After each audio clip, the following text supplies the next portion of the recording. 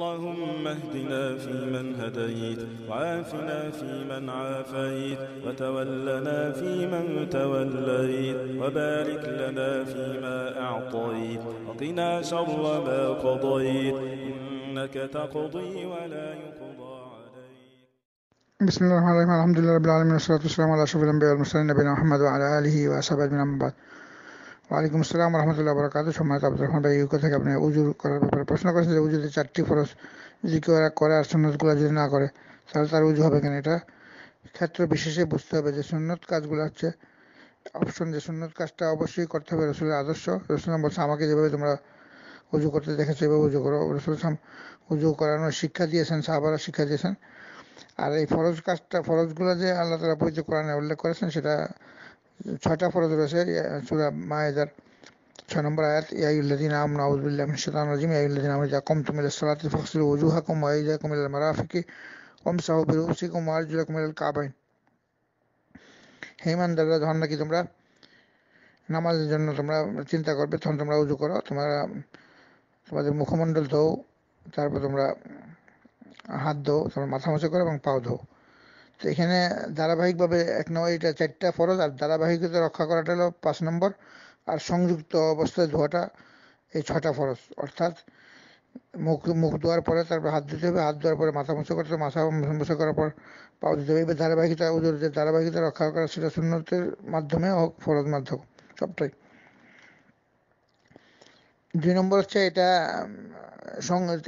এটা পাঁচ নম্বর, ছয় নম্বর হচ্ছে সংযুক্ত মানে যেন একটা অঙ্গ ধোয়ার পরে যেন আমি দেরি না করি, আবার আরেকটা অঙ্গ যদি শুকিয়ে যায় তাহলে উজু হবে না। সংযুক্ত অবস্থায় সঙ্গে সঙ্গে করা। সুন্নতের যে অপশন সেটা হচ্ছে সুন্নত করলে পরিপূর্ণ সব পাওয়া যাবে। সুন্নত যদি কেউ ভুলে না করে তাহলে তার উজু হয়ে যাবে।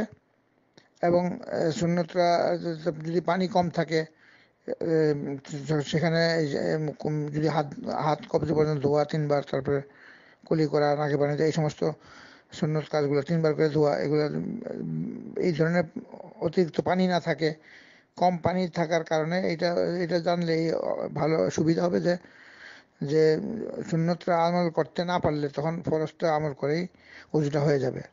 কিন্তু সেখানে যদি পরিবেশ থাকে এবং সুন্নত আমল করার সময় থাকে, সুযোগ থাকে, সেখানে সুন্নত আমলটা ত্যাগ করাটা রসুল ইসলামের বিরোধিতা করার অন্তর্ভুক্ত হবে। তো এই ক্ষেত্রে ইচ্ছা করে যদি কেউ সুন্নতগুলো না করে তাহলে তার অনেক গুণা হবে এবং অজুই হবে না। কিন্তু যদি সে কারণবশত সুন্নত ছেড়ে দেয় বা ভুলে যায় বা পানি না থাকার কারণে করতে না পারে, সেক্ষেত্রে কোনো অসুবিধা নাই। এটাই ইসলাম ধর্মটা অনেক সুন্দর ধর্ম। ফরজ কাজগুলো অবশ্যই করতে হবে, সেটা তারা হবে না।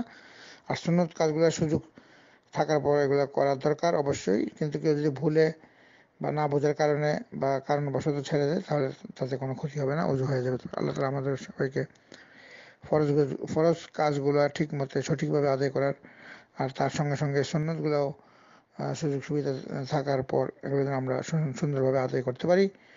জীবনের সকল ক্ষেত্রে যেন রসুলকে আমরা পরিপূর্ণ ভালোবাসি এবং সুন্নতগুলো আদায় করি। এই তফিক আল্লাহ আমাদের সবাইকে দান করো কসল্লাহ নবীন আহমদ আলহি ওয়াসাব